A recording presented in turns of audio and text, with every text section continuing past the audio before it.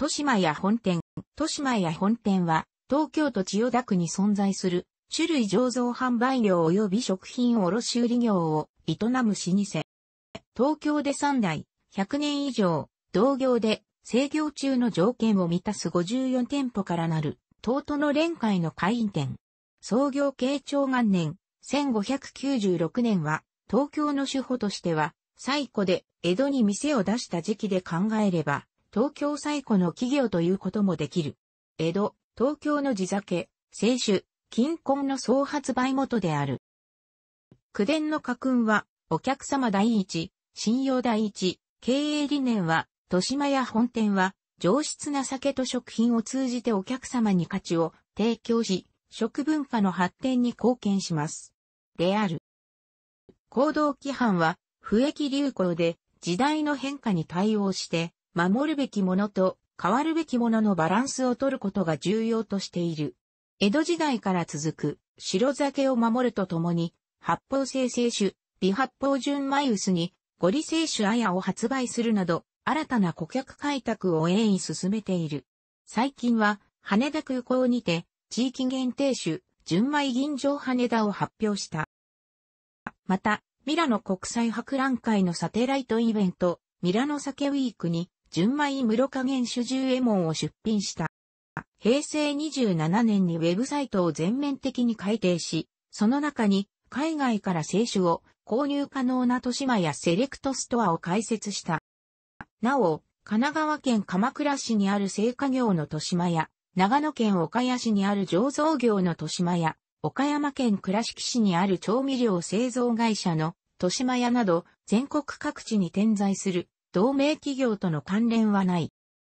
慶長元年、1596年、初代、豊島屋十右衛門が、鎌倉菓子神田橋編、現在の内神田二丁目二の一で酒屋を創業した。鎌倉菓子は、江戸城武人のための荷上げ場として建造され、石材が鎌倉を経由して運び込まれた、あるいは不審の職人に、鎌倉出身者が多かったことから名付けられた。豊島屋は、こうした不審に関わる職人などを対象に下り酒を安価で提供した。教法の改革により、庶民が不況にあえいだ原文あるいは法暦頃、豊島屋は徹底した薄利多売により利益を得た。酒自体は原価の8分で売り、秋だるを1割弱で引き取ってもらうことで儲けを出し、豊島屋でまた8分が布工記録が残る。また、酒の魚として、特大の豆腐田楽を1本2分という破格の値段で売り、赤味噌を塗って酒が進むように仕掛けた。田楽は、その大きさから、馬方たらがと呼ばれ、評判となり、田楽も、鎌倉菓子は、死者なりと歌われた。酒と一緒に、酒のつまみを出した点で、豊島屋は、居酒屋の原型の一つとされることがある。石器払いで一度に入る収入を利用して、金貸し業も営んだ。これらの経営努力のもと、幕府勘定方により、御用商人に取り立てられ、江戸商人実決にも列せられた。鎌倉菓子には創業店十右衛門の他にも、畳などを扱うジンベエ、瀬戸物を扱う鉄五郎などが並び、豊島屋菓子とも呼ばれた。豊島屋は白酒の元祖として有名で、江戸時代に山なれば富士、白酒なれば豊島屋と歌われた。十右衛門、何代目かは不明とされるの夢枕に、神びなが現れ、白酒の製法を伝授され、桃の節句前に売り出したところ飛ぶように売れたという。十右衛門の夢枕に現れた神のひなは、浅草寺の境内に祀られていた淡島明神が変じた姿という。桃の節句に白酒を飲む風習は、豊島屋が発祥である。これにより、女性や大名などの新たな顧客を開拓した。毎年桃の節句前の2月25日に行われた白酒の大売り出しでは、江戸中から人が押し寄せ、風物詩となった。この様子は、長谷川節丹の江戸名所図へ、鎌倉町と島屋支店白酒を、小符図に小句描かれている。当日は、店の前に竹洗いを巡らせて、酒醤油賞旧猿公の看板を掲げ、その日は白酒のみを販売した。あらかじめ客には切手を買わせ、左側の扉を入り口、右側を出口とし、一方通行に並ばせた。入り口上に設けた櫓には、飛びと医者が待機していて、もし体調を崩したものが出た場合には、飛びが飛び口を用いて、櫓状に引き上げ、医者が手当てをして帰宅させたという。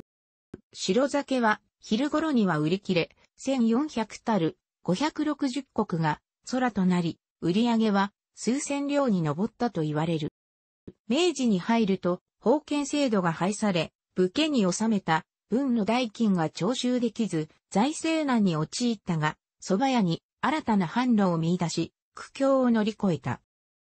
明治中期には灘に自前の蔵を持ったが、間もなく東村山に移転した。明治17年、1884年に300年近く店を構えていた鎌倉橋を離れ、神田水戸城町2丁目1番地、現、内、神田1丁目13の1へ移転した。ただし区伝では、関東大震災後の移転といい、不明確な点が残る。さらに、東京大空襲で、店穂や資料ともども消失し、終戦後も土地がモータープールとして GHQ の接収を受けたため、千代田区猿学町に移転し、現在も当地で営業を続ける。水戸城町の土地が戻されると、ビルを建て、有限会社豊島屋ビルに、これを管理させた。江戸時代には、白酒以外に自ら酒造は行っていなかった。十二代目、吉村正次郎が、明治中期に、灘で他社との共同で、自前の蔵を持ち、金婚を製造した。ただし、地理的に遠いことから昭和12年、1937年、東村山に移転し、豊島や酒造合資会社を設立した。酒蔵、関連会社の豊島屋酒造株式会社は、東京都東村山市にあり、清酒、金婚をはじめとする日本酒やみりんを醸造している。この金婚は明治神宮、神田明神、山王比枝神社の東京における主要三大神社すべてにご神酒として収める唯一の清酒である。平成21酒造年度全国新酒鑑評会で大吟醸が金賞を受賞した。また、創業者名を冠した十右衛門や守る、奥の神という小仕込みの純米酒も醸造している。江戸時代には、長谷川節丹画の江戸名所図へ、鎌倉町と島屋支店白酒を、小府図に、白酒売り出しの繁盛が描かれる。また、歌川広重の絵本江戸土産、鎌倉菓子でも菓子の繁盛様子が描かれている。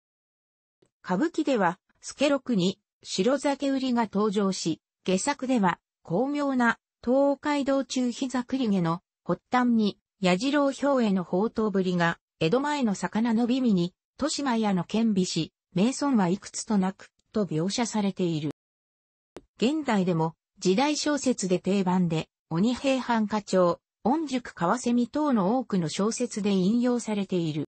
最近では、佐伯康志英の鎌倉菓子取り物控えシリーズ NHK ドラマ、まっつぐ鎌倉菓子取り物控えの原作で舞台、そのものとなっている。作者は、江戸名所杖で、豊島屋を知ったが、まさか現存しているとは、考えが及ばなかったという。